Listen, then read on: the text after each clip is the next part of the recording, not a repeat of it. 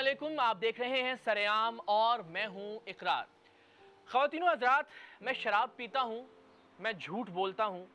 اگر کوئی شخص ٹیلی ویژن پر آ کر یہ سچ کہہ دے تو یقین جانے، اس ملک کے سارے شرابی، اس ملک کے سارے جھوٹے اس کا جینا حرام کر دیں گے۔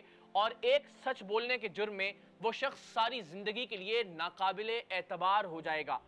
آج کے اس سریام میں ہم کوشش کریں گے کہ سچ بولنے کی ہمت اور سچ سننے کا حوصلہ پیدا کیا جا سکے۔ مختلف سیاستدانوں کے سامنے ہم یہ سوال رکھیں گے کہ کیمرہ آن ہوتے ہی ان کے ذہن میں پہلا سچ کیا آتا ہے؟ وہ یہ سچ کہہ دیں چاہے وہ سچ کتنا ہی تلخ اور کتنا ہی عجیب و غریب کیوں نہ ہو۔ ہماری کوشش ہے کہ سیاستدانوں کی زندگی کے انتہائی سچے ترین دو منٹ آپ کے سامنے رکھ سکیں۔ اور ہمارا آج کا سچ یہ ہے کہ ان میں سے بہت سے سیاستدانوں نے کیمرہ آن ہونے کے بعد کیمرہ بند کروایا، سوال کے جواب پر غور و فکر کیا اور بڑی سوچ بچار کے بعد اپنا سچ آپ کے سامنے رکھا۔ پہلا سچ یہ تھا کہ جب میں نے سیاسی زندگی کے اندر غور و خوض کرنا شروع کیا، اس زمانے میں کمیونزم، سوشلزم اور اسلام کی جنگ تھی۔ یہ ساٹھ کی دہائی اور ستر کی دہائی کے اندر۔ تو میرے پر جو سچ نکلا، یہ پڑھنے کے بعد میں نے کارل مارکس کو بھی فریڈرک اینجل کو بھی پڑھا، جو اس زمانے کے کمیونسٹ لکھنے والے تھے۔ مولانا مودودی کو پڑھا بھی، قرآن بھی پڑھا۔ تو میں پہلا سچ جو مجھ پر اجاگر ہوا، وہ یہ کہ یہ جو لادین قوتیں اور جو نان ریلیجس قوتیں ہیں، یہ سب جھوٹ ہے اور میرا ٹلٹ ہوا اسلامی نظام حیات کے اوپر کی طرف۔ اور یہ میری زندگی کے اندر ایک بہت بڑی چینج تھی۔ جس کی بنیاد پر پھر میں آج تک یہ محسوس کرتا ہوں کہ پاکستان تحریک انصاف کا جو اپنا نظریہ فکر ہے اور ویژن ہے، اس کے اندر جدید اسلامی فلاحی ریاست۔ تو وہ چیز میرے ساتھ آج تک لگی ہوئی ہے کہ میں سمجھتا ہوں کہ ریاست مدینہ نے جو انصاف کا پیمانہ بنایا، وہ اور اس کے بعد علامہ اقبال کا امہ کا تصور اور شاہین کا تصور اور خودی کا تصور اور پھر اعظم محمد علی ضلع کا وہ سٹیٹمنٹ کہ اب پاکستان بن گیا ہے، اب تم لوگ اپنے گرجوں میں جاؤ، اپنی مسجدوں میں جاؤ، اپنے مندروں میں جاؤ، پاکستان کے لیے برابر ہے تو یہ میں سمجھتا ہوں کہ وہ سچ ہے جو پہلا تھا سیاسی اعتبار سے، زندگی کا پہلا تو مجھے یاد نہیں۔ جھوٹ بھی میں نے بولے ہیں بچپن میں بہت، ہے نا؟ اور سچ بولنے پر مار بھی کھائی ہے کہ سچ بولنے پر بھی مار کھائی جب صحیح صحیح بات رکھ دی گئی تو بھی مار کھائی ہے۔ بچپن کے اندر جو ماں باپ تربیت کرتے ہیں تو اللہ کا احسان ہے کہ محبت کرنے والے ماں باپ مجھے ملے اور سب کو ملتے ہیں اور سب اسی طرح سے تربیت کرتے ہیں۔ حیثیت مسلمان میرا یقین ہے کہ مجھے نہیں معلوم میرا اگلا لمحہ کیا ہے۔ تو میں یقیناً اپنے لیے کسی حد تک کیا ہے، اپنے گھر کے لیے کیا ہے، اپنے اہل خانہ کے لیے کیا ہے۔ مگر میں شاید اپنے ملک اور اپنے معاشرے پہ کے لیے وہ کچھ نہیں کر سکا جو مجھے کرنا چاہیے۔ انفرادی طور پہ آپ شاید چیریٹی کر سکتے ہوں، میں این جی اوز میں بھی رہا ہوں، مگر جب لوگوں کی تقدیر بدلنا ہو تو اس گروپ، اس جتھے ان لوگوں کے ساتھ شامل ہو جائیں جو آپ کے دانشت میں بہترین لوگ ہوں جو لوگوں کو زندگی کی سہولتیں پہنچاتے ہوں۔ اور میرا ذاتی یہ ایمان ہے اور یقین ہے کہ قرآن مجید فرقان امید مکمل ضابطہ حیات ہے اور اللہ تعالیٰ نے اپنے دین کو نافذ کرنے کے لیے اور اس کے جو اصول ہیں، قواعد ہیں، اس کو نفاذ کرنے کے لیے انسانوں کے پاس یہ کتاب بھیجا ہے۔ ہم خود غرض لوگ ہیں، میں اکثر دیکھتا ہوں۔ تو ملک کے لیے شاید ہم بہت کم سوچتے ہیں، دوسروں کے لیے کم سوچتے ہیں۔ ہم ہر وقت اپنی دولت کے انبار کے لیے ہمارے لوگ سوچتے ہیں اور پھر اب زیادہ اس لیے بھی ہو گیا ہے کہ کچھ لوگوں نے سیاست کو گیم سمجھ رکھا ہے، دولت کمانے کا ذریعہ سمجھ رکھا ہے، اقتدار اور دوسروں پہ دھانس اور دھاندلی کرنے کا ذریعہ سمجھ رکھا ہے، جبکہ ہمارے ملک میں وہ تمام پوٹینشیل ہے، وہ تمام خوبیاں ہیں۔ اور جب میں سوچتا ہوں کہ دس لاکھ لوگوں نے اپنی شہادت سے پلیچ کیا تھا اس آزادی کو، اور دو سو سال کی غلامی کے بعد جب ہمیں آزادی ملی تو اس آزادی کو برقرار بھی رکھنا میرا فرض ہے۔ اللہ تعالیٰ میرا اور آپ کا حامی و ناصر ہو۔ ہمیں صحیح سرات مستقیم پہ نہ صرف زبانی بلکہ دل سے عہد کریں کہ ہم اس پہ آگے بڑھیں۔ اللہ وہی کرے جو پاکستان کے لیے بہتر ہو، جو ہم سب کے لیے بہتر ہو۔ پاکستان زندہ باد سچ تو یہ ہے کہ ہمارے ملک میں جتنے بھی لوگ کرپشن، بدعنوانی اور بدامنی کے خاتمے کی بات کرتے ہیں، وہ اصل میں حقیقت میں اس بات کو تسلیم نہیں کرتے۔ ہیں میرے کہنے کا مقصد یہ ہے کہ سچ یہ ہے کہ ہم ہر آدمی، چاہے وہ لیڈر ہو، کارکن ہو، سیاسی ملازم ہو، افیسر ہو، عہدیدار ہو، جو بھی ہے، ہم ہر آدمی اپنے آپ سے شروع کریں گے اور اپنے آپ کو درست کریں گے، اپنے اندر سے خود غرضی لالچ اور کرپشن ختم کریں گے، شاید اس ملک میں ہماری خواہشات کی تکمیل ہو سکے گی۔ مگر ہر شخص سچ یہی کہ سمجھتا ہے کہ دوسرا آدمی صحیح ہو، دوسرا ادارہ صحیح ہو دوسری پارٹی صحیح ہو، دوسری تنظیم صحیح ہو۔ مگر سچ یہ ہے کہ ہر آدمی میں اس کے حیثیت کے مطابق برائی ہے، بدعنوانی ہے، کرپشن ہے بدمنی ہے۔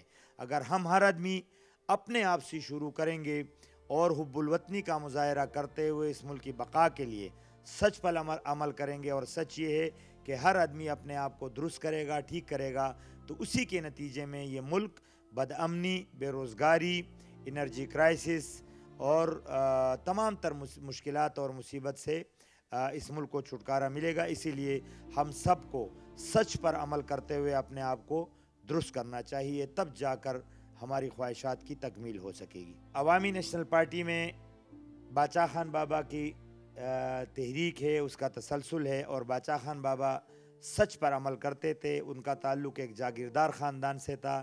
لیکن انہوں نے جو کہا، اسی طرح پوری زندگی گزاری۔ انہوں نے اپنی پوری زندگی میں اپنا بوجھ کسی کے اوپر نہیں ڈالا۔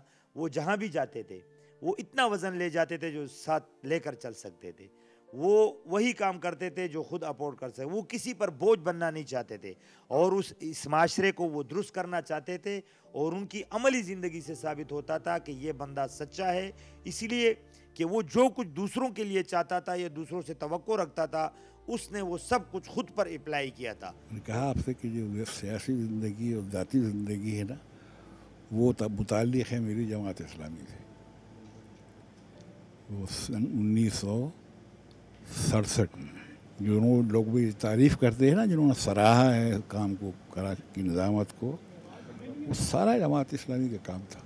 ذاتی زندگی میں تو جب میں جماعت اسلامی کا رک تھا نا تو پتہ کہاں بنا تھا میں؟ خانہ کعبہ۔ اور خانہ کعبہ میں ہی اور مسجد نبی میں دونوں جگہ بنا۔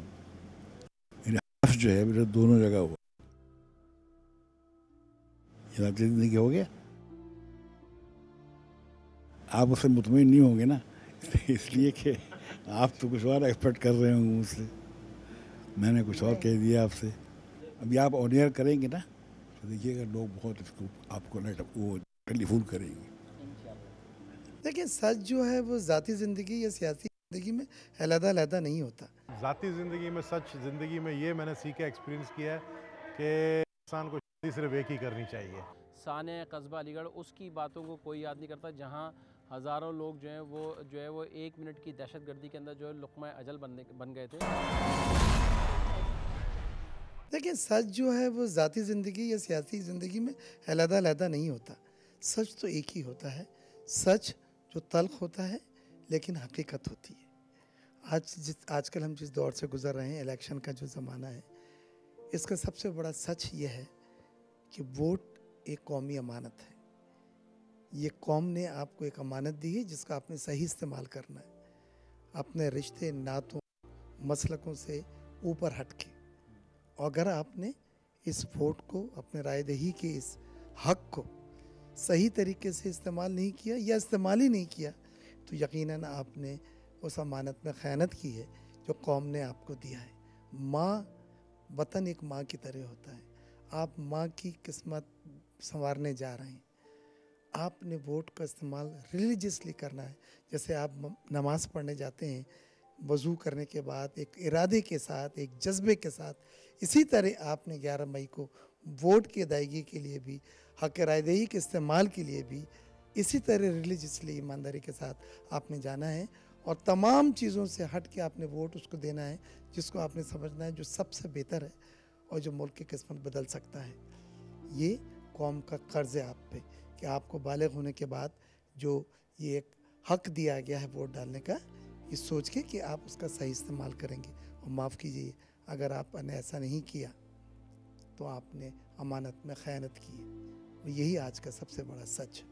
میرے نزدیک گیارہ تاریخ کو آپ کے پاس سوائے سچ کے کوئی دوسری چوائس نہیں ہے۔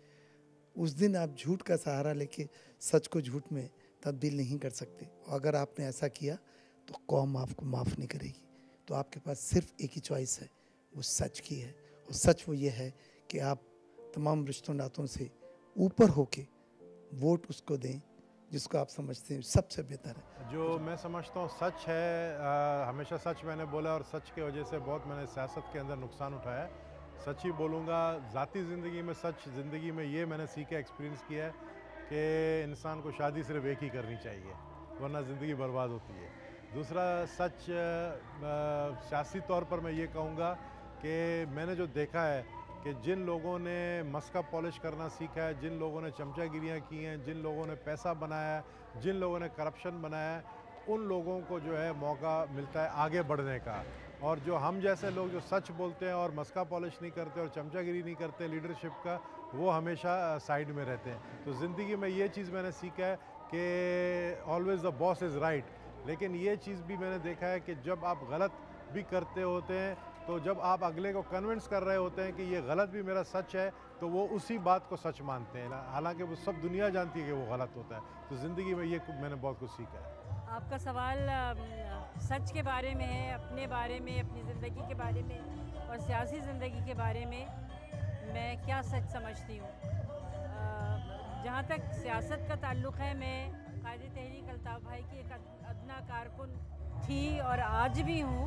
اور سچ یہ ہے کہ جب سے میں نے اپنی تحریک، متحدہ قومی موومنٹ میں قدم رکھا اور یہاں پہ کام کیا، تو مجھے اس بات کا، مجھے اس بات پہ فخر ہے کہ میں پچھلے پچیس برس سے عوام کی بہبود کے لیے، ایم کے ایم جو بھی کام کر رہی ہے، میں اس کا حصہ ہوں اور اس سے مجھے اندرونی طور پہ میں ایک سکون ہے، ایک میرے دل میں جو ہے وہ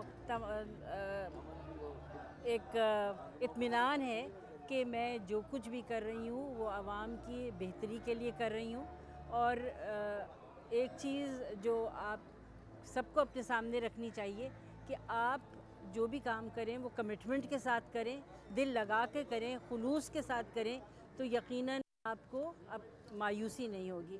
اسی طرح سے میری جو نجی زندگی ہے میں سمجھتی ہوں کہ اپنے بچوں کے لیے میری دعا ہے کہ وہ بھی اتنی ہی ان کی زندگی اچھی ہو جتنی میری تھی، کیونکہ مجھے اپنی خاندان کی پوری سپورٹ حاصل ہے۔ میرے بچے بہت اچھے ہیں، میرے شوہر میرا بہت خیال رکھتے ہیں۔ تو یہ آپ مطلب زندگی سے کیا چاہتے ہیں؟ آپ چاہتے ہی ہیں کہ آپ ایک اچھی زندگی گزار سکیں، آپ کسی کو دکھ تکلیف نہ دیں، آپ کسی کے لیے کچھ کام کر سکیں۔ اور آ، میں سمجھتی ہوں کہ میری زندگی کا سچ یہ ہے کہ میں نے جو بھی وقت اپنی پارٹی ایم کیو ایم کو دیا ہے یا جو وقت میں نے اپنے گھر پہ صرف کیا ہے میں اس سے مطمئن ہوں اور کاش کہ آ، سب لوگ اسی طرح سے آ، اپنے اندر یہ جذبہ پیدا کر سکیں کہ آ، توقعات نہ رکھیں اور اپنی طرف سے بہتر سے بہتر کام کریں تاکہ ان کو کبھی مایوسی نہ ہو۔ شکریہ۔ چونکہ آ، زمانہ طالب علمی سے میں ایم کیو ایم سے یا اس کی طلبہ تنظیم اے پی ایم ایس سے جڑا ہوا ہوں۔ تو مجھے جب یہ سوال کیا گیا کہ میری ذاتی اور سیاسی زندگی میں کون سا ایسا کڑوا سچ ہے جو مجھے یاد ہے، جو ابھرتا ہے؟ تو چونکہ ذاتی زندگی اور سیاسی زندگی ایک دوسرے سے اس طرح گڈمڈ ہو گئی ہے، تو میں ایک سچ ہے جو پاکستان کی سیاسی زندگی میں ایک انتہائی کڑوا سچ ہے، جس کو میرے دل نے کبھی قبول نہیں کیا تھا۔ جب تک کہ میں خود سیاست میں نہیں آ گیا، میں نے کہا یہ ایسا ہو نہیں سکتا۔ اور یہ اس وقت کا واقعہ ہے سن انیس سو اکہتر کا، جب میں چھٹی یا ساتویں جماعت میں تھا۔ جب پاکستان دو لخت ہوا تھا، جب پاکستان تقسیم ہوا تھا، جب پاکستان کے وڈیروں اور جاگیرداروں نے پاکستان کو اپنی حوث اقتدار کی بھینٹ چڑھا دیا تھا اور مشرقی پاکستان بنگلہ دیش بن گیا تھا۔ تو وہ ایک ایسا واقعہ ہے جس نے اور ایک ایسا کڑوا سچ جس کو آج بھی دل تسلیم کرنے کے لیے تیار نہیں، لیکن یہ سچ ہے اور کڑوا سچ ہے۔ آئندہ اگر پاکستانی قوم کو ایسے کڑوے سچ سے بچنا ہے تو پاکستان میں میں یہ سمجھتا ہوں کہ ہمیں فیوڈلزم کو ختم کرنا ہوگا۔ وڈیروں جاگیرداروں سرداروں سرمایہ داروں سے پاکستان کی سیاست کو آزاد کرانا ہوگا۔ جو استحصالی اور موروثی سیاست ہے اس سے پاکستان کو نجات دلانی ہوگی اور متوسط اور غریب طبقے کے نمائندوں کو آگے لانا ہوگا۔ تب کہیں ہمیں قومی زندگی میں ایسے کڑوے سچ سے نجات ملے گی۔ بارہ مئی کے بعد انیس مئی کو ہم نے جب اپنی طرف سے کڑوا سچ نام کی جب ڈی وی ڈی جاری کی تو وہ آج تک اس انداز میں اس کو کسی نے ٹیک اپ نہیں کیا۔ جو ٹپکل سیاستدان کا نا کہ یہ جب تک کہ بدماش نہیں ہے جب تک کہ جھوٹا نہیں ہے۔ اٹھارہ اٹھارہ گھنٹے لوڈ شیڈنگ ہو رہی ہے۔ دیکھیں ذاتی زندگی میں تو ایسی کوئی چیز نہیں البتہ سیاسی طور پہ میں یہاں دو واقعات کو کرنا چاہتا ہوں کہ جس طرح چیزوں کو ایگزیجریٹ کر کے دکھایا جاتا ہے۔ بارہ مئی کے حوالے سے سب کو یاد رہتا ہے مگر بارہ مئی سے پہلے جو اس شہر کراچی اور صوبہ سندھ کے اندر جو بڑے بڑے انسیڈنٹ ہوئے ہیں جس میں پکا قلعے کے واقعات سانح قصبہ علی گڑھ اس کی باتوں کو کوئی یاد نہیں کرتا جہاں ہزاروں لوگ جو ہیں وہ جو ہے وہ ایک منٹ کی دہشت گردی کے اندر جو ہے لقمہ اجل بننے بن گئے تھے۔ ان کے بارے میں آج تک کسی نے نہیں دکھایا، جبکہ بارہ مئی کے بعد انیس مئی کو ہم نے جب اپنی طرف سے کڑوا سچ نام کی جب ڈی وی ڈی جاری کی تو وہ آج تک اس انداز میں اس کو کسی نے ٹیک اپ نہیں کیا، جس میں ریالٹی دکھا گئی کہ ایک طرف ڈپک کیا گیا جہاں جھوٹا پروپیگنڈا منفی پروپیگنڈا کیا گیا، جب اس کی ایک ریالٹی کی بنیاد پہ جو ہے وہ ڈی وی ڈی دکھائی گئی۔ تو میں سمجھتا ہوں کہ میڈیا کو اس میں اپنا ایک وائٹل رول پلے کرنا چاہیے کہ جہاں کڑوا سچ جو ہے وہ ضرور دکھانا چاہیے، کیونکہ انیس سال لگ گئے تھے اس جھوٹ کو بولتے ہوئے جو پروپیگنڈا ایم کیو ایم کے اوپر جناح پور کا نام جو ہے وہ چلتا رہا۔ تو کم از کم اس کو، اس اس واقعے کو جو ہے وہ انیس سال کم از کم نہیں لگنے چاہیے اور دوسرا واقعہ جو میں سمجھتا ہوں کہ غلط کوٹ ہوتا ہے وہ ہے نو اپریل کا ثانیہ جہاں جھوٹ کے پروپیگنڈے کے بازار کے طور پہ دکھایا تھا کہ جہاں وکلا کو زندہ جلانے کا الزام جو لگایا جاتا ہے، تو اس پہ میں یہ واضح طور پہ بتا دوں کہ جب وہ وکلا اول تو جلے نہیں تھے اور اگر وکلا تھے تو ان کی یقیناً کسی کسی بار کے اندر کسی نے کہ بحثیت وکیل جو ان کی کہیں نہ کہیں رجسٹریشن ہوگی۔ تو وہ رجسٹریشن کہیں بھی موجود نہیں ہے، نہ وہ وکلا تھے۔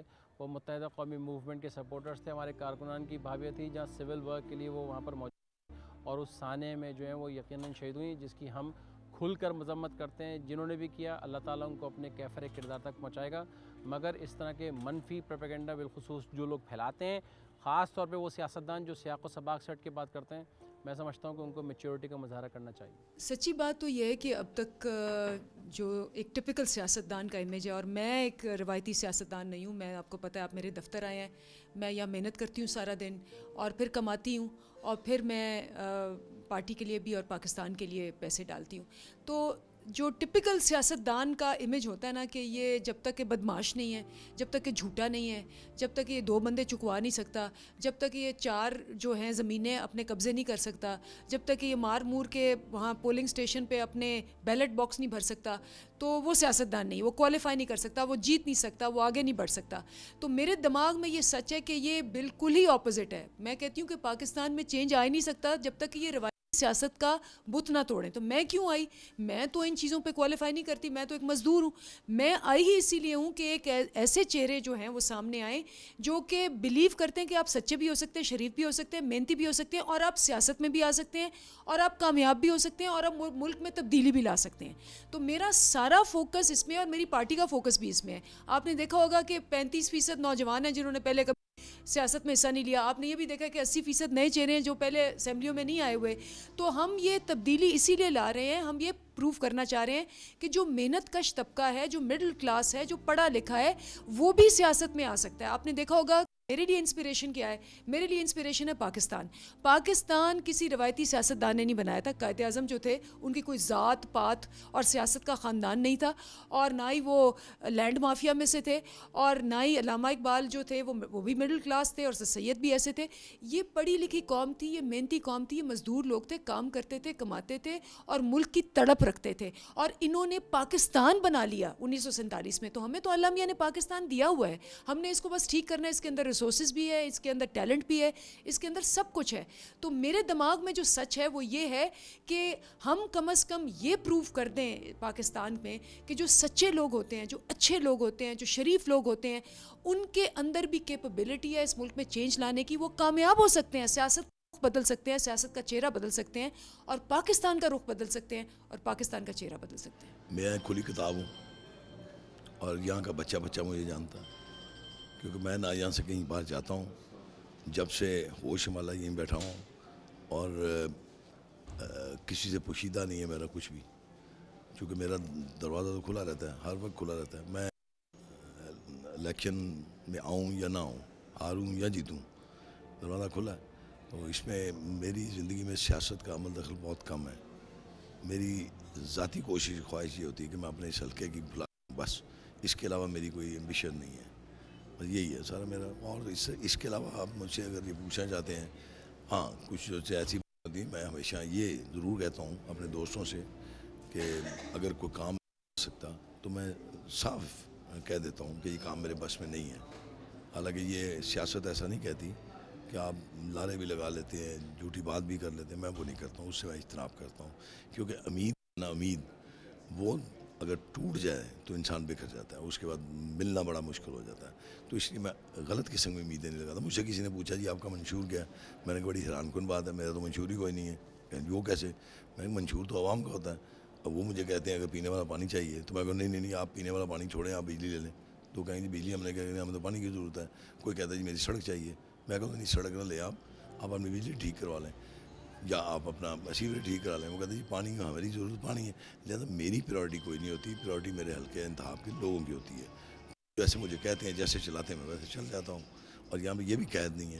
ایک ہوتا ہے نا، کچھ وقت مقرر ہوتا ہے کہ آپ نے اتنے بجے سے اتنے بجے تک آپ نے ملنا ہے۔ وہ بھی نہیں ہے۔ اس پہ کوئی قوت کار نہیں ہے۔ کوئی بورڈ ایسا نہیں لگا ہوا۔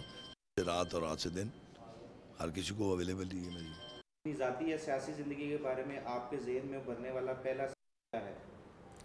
دیکھیں کچھ چھ سات سال سے میں سچ بول رہا ہوں اور سچ بیسیکلی یہ ہے کہ جو زندگی میں میں نے سوچا وہ خواب خدا نے میرے پورے کیے اور یہ ایک حقیقی سچ ہے کہ میں نے کبھی سائنسدان یا ڈاکٹر یا انجینئر یا پائلٹ بننے کا سوچا بھی نہیں تھا، ایک سیاسی ورکر اور سیاستدان بننے کی میری خواہش تھی بچپن سے۔ جب میں نے بچپن میں ہری پور میں بچوں کی جیت کاٹی اور اللہ کے فل سے آج یہ ایک سچ ہے کہ خدا مجھے وہ ٹھہراؤ دیا ہے اس نے اور وہ تدبر دیا ہے اور وہ سوچ دی ہے جو لوگوں کے دلوں پہ اترتی ہے اور مجھے خوشی ہوتی ہے جب لوگ یہ کہتے ہیں کہ سچ تو یہ ہے کہ آپ جو کہتے ہیں وہ سچ ہے۔ اٹھارہ اٹھارہ گھنٹے لوڈ شیڈنگ ہو رہی ہے۔ خاک نشینوں اٹھ بیٹھو۔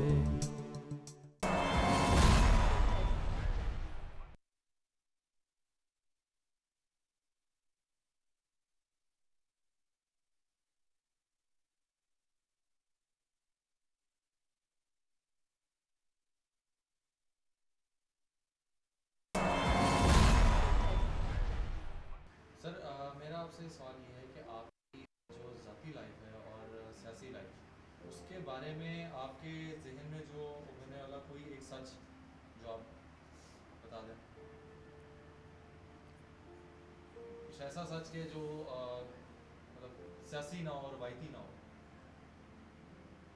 مجھے سمجھ نہیں آئی۔ کوشش کرتے ہیں، ملک کے لیے کوشش کرتے ہیں۔ تبدیلی لانے کی کوشش کر رہے ہیں چینج لانے کی کوشش کر رہے ہیں۔ جو ملک کے حالات بن گئے ہیں، جس میں عوام کی زندگی جو ہے وہ بالکل ہی جینا دوبھر ہو گیا ہے۔ اور اٹھارہ اٹھارہ گھنٹے لوڈ شیڈنگ ہو رہی ہے۔ مہنگائی عروج پہ ہے۔ بے روزگاری پڑھے لکھے نوجوان پھر رہے ہیں، ان کو کوئی نوکری نہیں مل رہی۔ دہشت گردی کا یہ عالم ہے کہ کسی وقت کسی کو بھی خطرہ پیدا ہو سکتا ہے۔ تو ان ساری چیزوں کو مد نظر رکھتے ہوئے سچ تو یہ ہے کہ ہم تبدیلی لانے کی کوشش کر رہے ہیں اور ان شاء اللہ تعالیٰ عوام کی طرف سے رائے بھی مل رہی ہے۔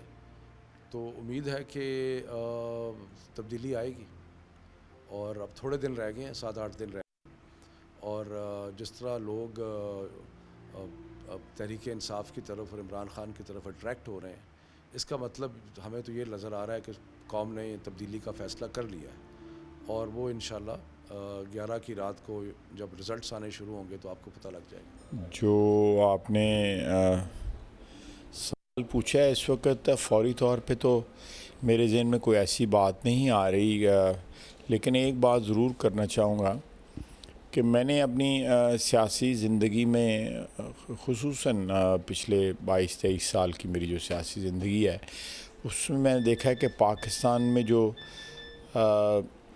مرات یافتہ طبقہ ہے جنہوں نے پاکستان سے سب سے زیادہ فائدہ اٹھایا ہے، پاکستان سے سب سے زیادہ مستفید ہوئے ہیں۔ ان میں جو ہے پاکستان کے لیے محبت اور پاکستان کے ساتھ کمٹمنٹ جو ہے، وہ اس کا لیول وہ نہیں ہے جو عام آدمی کا جو مین ان دا اسٹریٹ جو، جس کو آپ کہہ سکتے ہیں، گلی محلوں میں، گاؤں میں اور ان جگہوں پہ آدمی جو میجورٹی میں ہیں، جو تقریباً ستانوے، اٹھانوے پرسنٹ جو پاکستانی ہیں، وہ پاکستان سے بے پناہ محبت کرتے ہیں، بے پناہ کمٹمنٹ ہے ان کی پاکستان کے ساتھ۔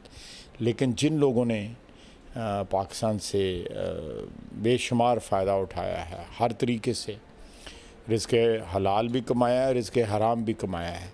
ان کی پاکستان کے ساتھ کمٹمنٹ جو ہے نا، وہ بڑی مشروط قسم کی کمٹمنٹ ہے۔ اس کے مقابلے میں عام آدمی کی کمٹمنٹ جو ہے وہ بڑی سالڈ بڑی جذباتی اور وہ پاکستان کے لیے جان بھی دینے کو ہر وقت تیار۔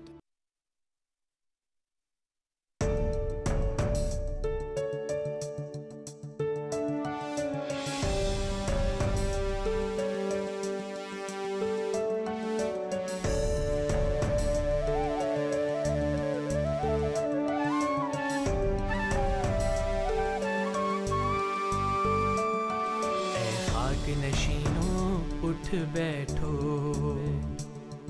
وہ وقت قریبا پہنچا ہے۔ جب تخت گرائے جائیں گے۔ جب تاج اچھالے جائیں گے۔ اب ٹوٹ گریں گی زنجیریں۔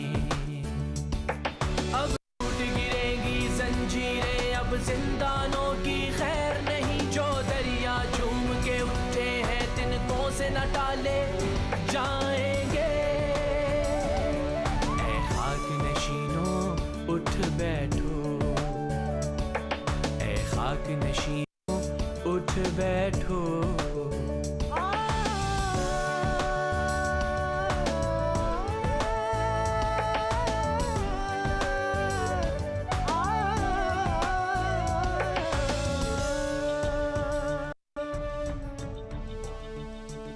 نثار، میں تیری گلیوں کے اے وطن کے جہاں، چلی ہے رسم کے کوئی نہ سر اٹھا کے چلے۔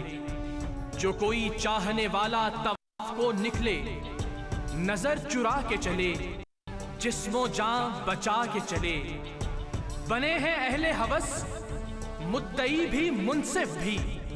کسے وکیل کریں کس سے منصفی چاہیں۔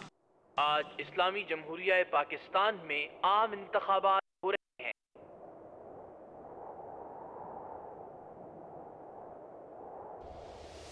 کٹتے بھی چلو، بڑھتے بھی چلو، بازو بھی بہت ہے سر بھی بہت، چلتے بھی چلو، کہ اب ڈیرے منزل ہی پہ ڈالے جائیں گے۔